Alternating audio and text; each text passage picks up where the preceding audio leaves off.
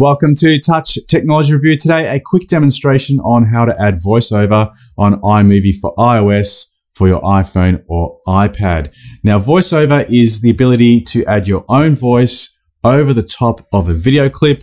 Now, you can completely replace the existing audio or you can add it as an overlay on top of the audio that exists on that video. So we're going to have a look at how to do that in just a moment. But before we do, a quick note about audio production when it comes to recording your voiceover, and that is about the proximity of the microphone to your voice. Now, when you're recording a voiceover, particularly indoors, there'll be a lot of ambient noise and echo that can come into the recording if you don't have your microphone close enough to the audio source. And some rooms will be noisier than others due to air conditioning and environmental noises.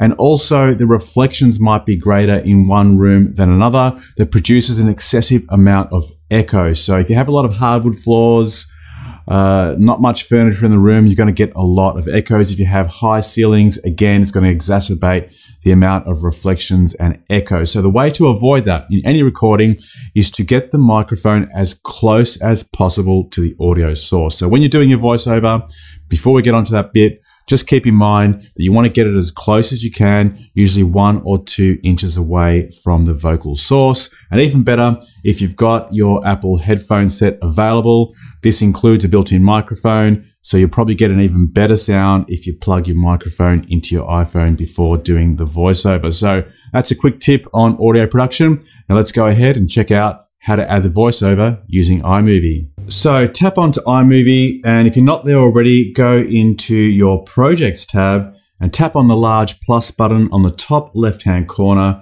of iMovie and create a new movie. Now, you can select multiple clips here or just one, depending on how you want to compose your movie. In this particular example, I've just got one movie clip that I want to replace the existing audio with my voiceover. So I'm going to go ahead and select that clip and then at the bottom of the screen, there's an option to create my movie and that will import that single clip into iMovie. Now the first thing I'm going to do here is tap on the clip on the timeline and you'll notice a sub menu appears. In the sub menu below, you'll see a number of options. You can split, detach, duplicate, or delete that video clip. I'm going to select detach and when I do, you'll notice that the audio track is detached from the video clip, which allows me to lower the volume or completely delete the audio altogether. In this example, I'm going to tap on it and I'm just going to lower the volume. So I'll have some of the audio in the background, but I'll completely lower the volume so that I can allow my voiceover to be the most dominant audio track. Now that I've done that, I'm ready to add my audio. To do that, simply tap on the plus button underneath the video preview window. You'll see a number of submenu options here to add video, photos, albums, audio tracks, even take a photo or video to insert directly into iMovie as you go.